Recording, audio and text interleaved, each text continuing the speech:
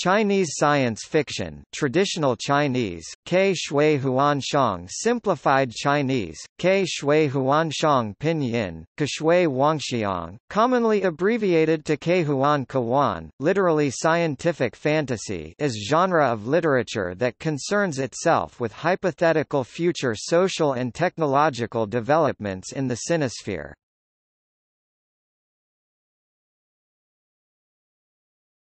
Topic: Mainland China.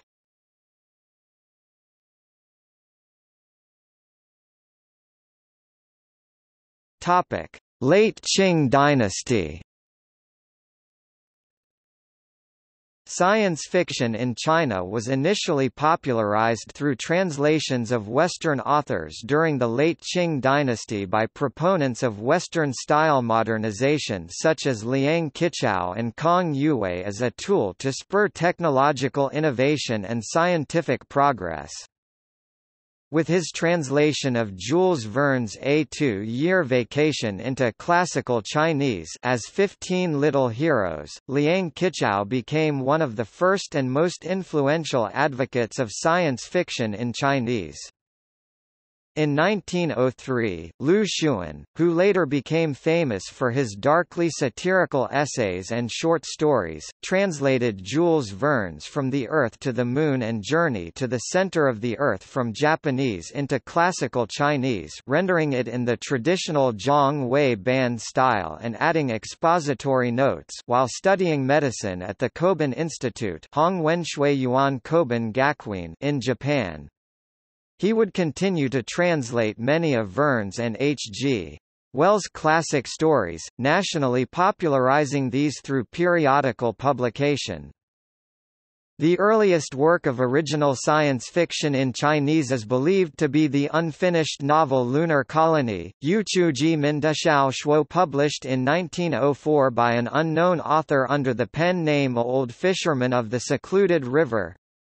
Huangjiang Diao The story concerns Long Menghua, who flees China with his wife after killing a government official who was harassing his wife's family. The ship they escape on is accidentally sunk and Long's wife disappears. However, Long is rescued by Otoro Tama, the Japanese inventor of a dirigible who helps him travel to Southeast Asia searching for his wife. They join with a group of anti-Qing martial artists to rescue her from bandits. Deciding that the nations of the world are too corrupt, they all travel to the Moon and establish a new colony.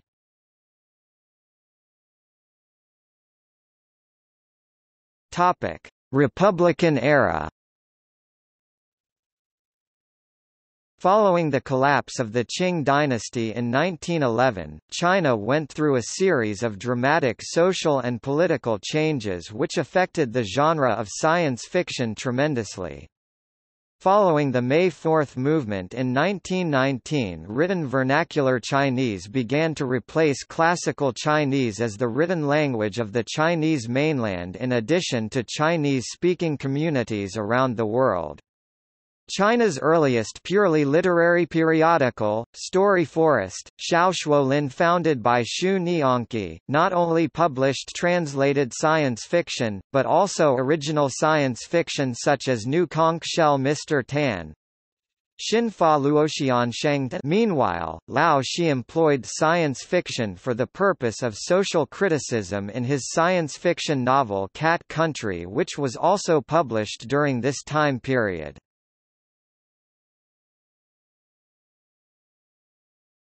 Topic: People's Republic of China.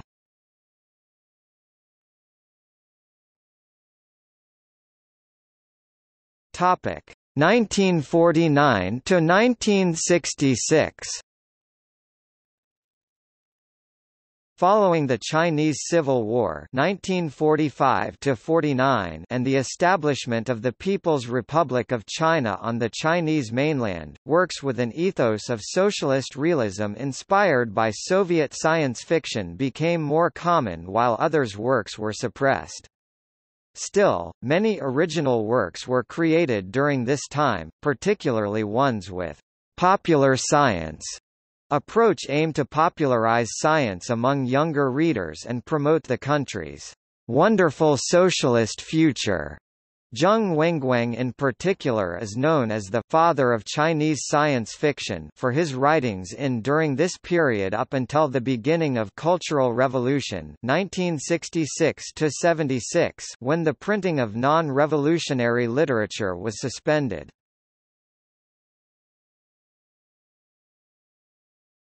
Topic 1978 to 1983 During the Cultural Revolution very little literature was printed and science fiction essentially disappeared in mainland China.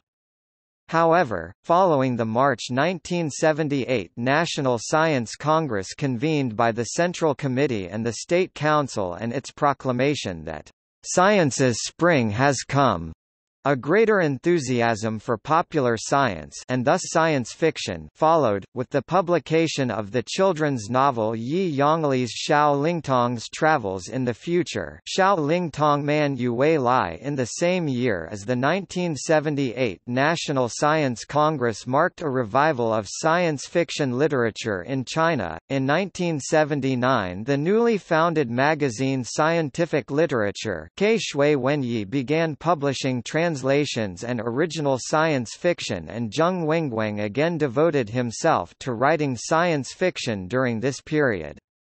Tong Enzheng wrote Death Ray on a Coral Island, which was later adapted into China's first science fiction movie. Other important writers from this time period include Liu Xingxi, Wang Xiaoda, and Hong Kong author Ni Kuang. In his monograph, Rudolf G. Wagner argues during this brief rebirth of science fiction in China scientists used the genre to symbolically describe the political and social standing to which the scientific community desired following its own rehabilitation. This rehabilitation suffered a setback during the anti-spiritual pollution campaign 1983-1984, when Biao Qian labeled science fiction as spiritual pollution. This led to authors such as Ye Yonglie, Tong Enzheng, Liu Xingxi, and Xiao Jianing being condemned for slander and the publication of science fiction in mainland China once again being prohibited indefinitely.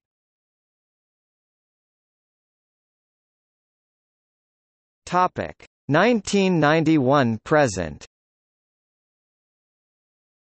In 1991 Yang Xiao, then the director of the magazine Scientific Art and Literature which had survived the ban on science fiction during the 1980s by changing their name to Strange Tales and publishing non-fiction works, decided to run a science fiction convention in Chengdu, Sichuan. Not only was this the first ever international science fiction convention to be held in mainland China, it was also the first international event to be hosted in since China the student protests of 1989. Scientific literature changed its name to Science Fiction World and by the mid-1990s had reached a peak circulation of about 400,000. Authors who came to prominence during the 1990s include Liu Cixin, Han Song, Wang Jingqing, Xing He, Qian Liefang, and He Shi. In particular, Liu, Han and Wang became popularly known as the Three Generals of Chinese Sci-Fi. Wang Jingqing is the most prolific of the three, having published over 50 short stories and 10 novels. While working as a chassis engineer for oil rigs, he began writing short stories as a way to entertain his son and teach him scientific concepts, a focus he has maintained throughout his writing career.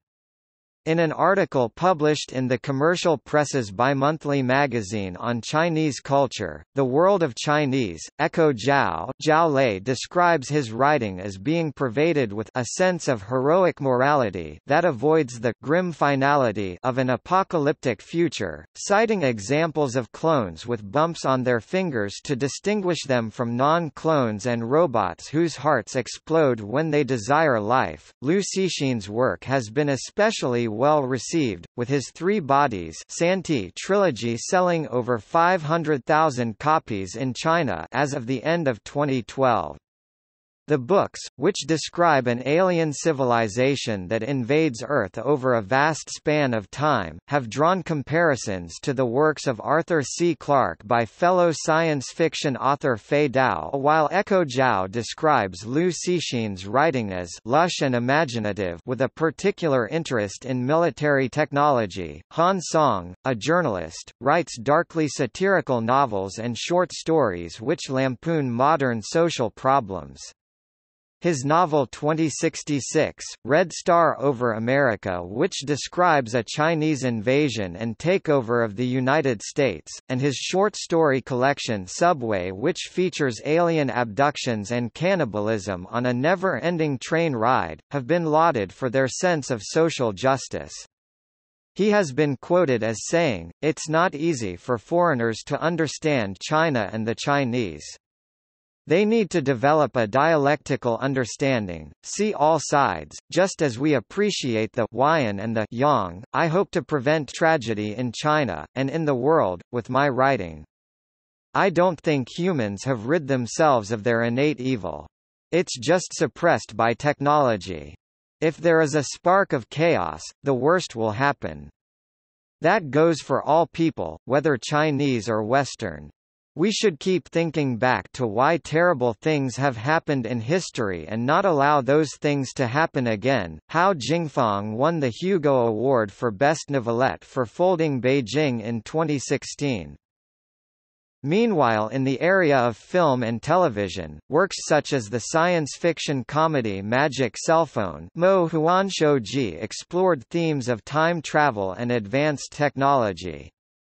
On March 31, 2011, however the State Administration of Radio, Film, and Television SARFT issued guidelines that strongly discouraged television storylines including fantasy, time travel, random compilations of mythical stories, bizarre plots, absurd techniques, even propagating feudal superstitions, fatalism and reincarnation, ambiguous moral lessons, and a lack of positive thinking indicating that in the near future science fiction shows will likely not be allowed to be aired on mainland Chinese television.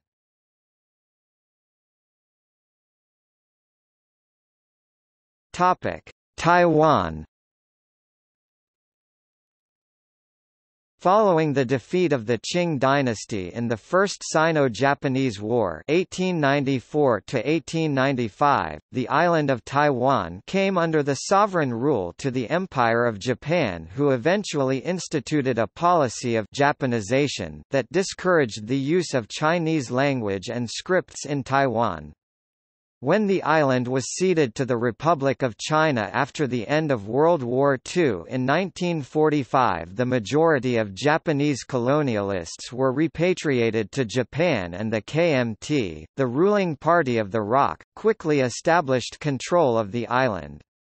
This was to prove key to the survival of the ROC government, who were forced to move their capital to the island after their defeat by the Communists in the Chinese Civil War.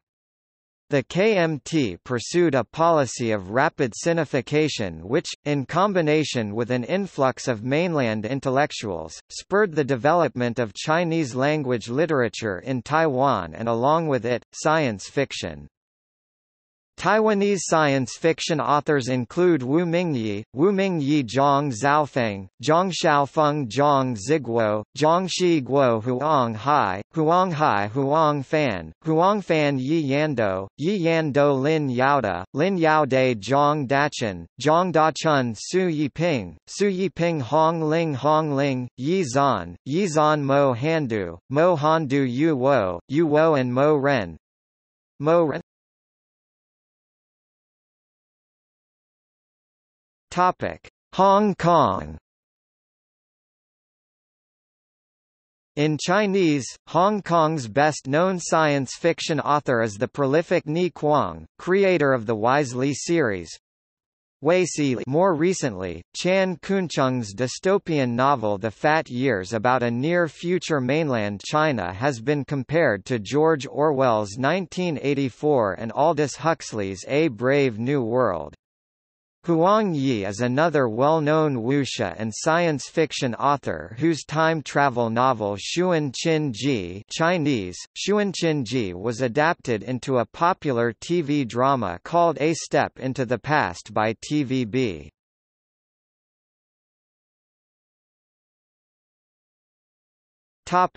Malaysia Zhang Sao, Zhang Sao is a Malaysian Chinese science fiction author who has published several novels in Chinese.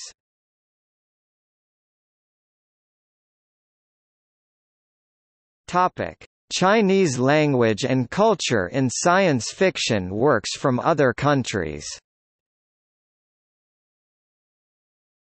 Cordwainer Smith's short stories and novel, Norstrilia, which is said to be based on the Chinese classic Journey to the West, feature a race of underpeople bred out of animals to serve mankind whose struggle for independence has been argued to be an allegory of the civil rights movement.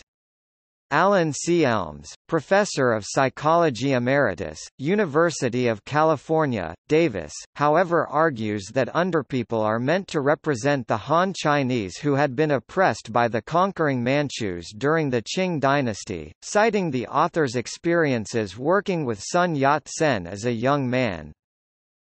An English translation of the Tao Te Ching plays an important role in Ursula K. Le Guin's 1967 post-apocalyptic novel City of Illusions.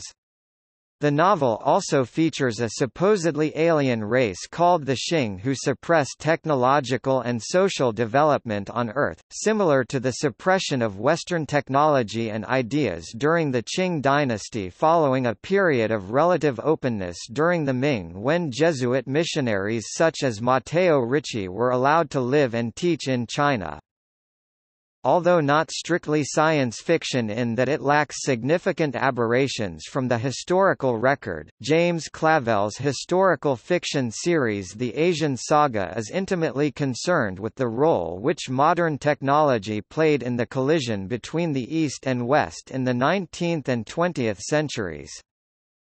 David Wingrove's multivolume Chung Kuo series takes place in an alternate timeline where Imperial China has survived into modern era and eventually takes over the entire world, establishing a future society with a strict racial hierarchy. Maureen F. McHugh's 1997 novel, China Mountain Zhang, takes place in an alternate future where America has gone through a socialist revolution while China has become the dominant world power. The 2002 American television show Firefly features a future space-based society in the year 2517 where Mandarin Chinese has become a common language. Cory Doctorow's 2010 young adult science fiction novel For the Win features a gold farmer from Shenzhen, China who joins forces with Leonard Goldberg, a cinephile gamer who speaks Mandarin Chinese and uses the Chinese name Wei Dong, to take on the mainland authorities and gold farming bosses. The 2012 American film Red Dawn, a reimagining of the 1984 film by the same name, as originally filmed portrayed the invasion of the United States by the People's Liberation Army of the PRC due to a U.S. default on Chinese-owned debt. In hopes of being able to market the film in mainland China, the country of origin for the invading army was later changed to North Korea using digital technology, and references to the storyline about debt were edited out of the final cut of the film. The titular computer virus in American author Neal Stephenson's 2011 technothriller Reamde was developed by a crew of mainland Chinese-based gold farmers and a significant portion of the book takes place in Xiamen, Fujian. The prolific short story writer Chinese-American Ken Liu has published numerous original English-language science fiction stories featuring Chinese characters and settings, exploring issues of tradition, modernity, development, and cultural differences between the East and West. Two of his stories have also been published in Chinese, and has translated short stories by Liu Cixin, Chen Qiufan, Xia Jia and Ma Boyong. Topic English translations and academic studies Joel Martinsen, a translator who works for the website danwei.org, has promoted Chinese science fiction in English for a number of years, both on his blog 12 Hours Later, Literature from the Other Side of the Globe, Chinese SF, fantasy, and mainstream fiction and also on various websites around the Internet, often posting under the username ZHWJ. Along with Ken Liu and Eric Abrahamsen, Martinsen translated Liu Cixin's three-body trilogy for China Educational Publications Import and Export Corporation Limited (CEPIT), with print and digital editions of the first two novels released in the first half of 2013 and the third in 2014. The second issue of the literary monthly Chutzpah, edited by Ou Ning, contains an in-depth history of Chinese fiction compiled by Kun Kun entitled Some of Us Are Looking at the Stars, and translations of Chinese science fiction authors Han Song, Fei Dao, Chen Qiufan, Yang Ping into English, in addition to translations of English-language science fiction authors such as William Gibson, Neal Stephenson, Paolo Bacigalupi and Jeff Noon into Chinese. In 2012, the Hong Kong Journal Renditions, a Chinese-English translation magazine issued a special double issue renditions number 77 and 78 with a focus on science fiction, including works from both the early 20th century and the early 21st century.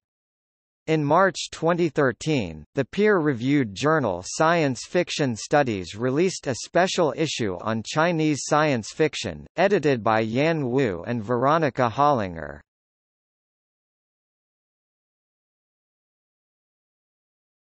Topic: Awards.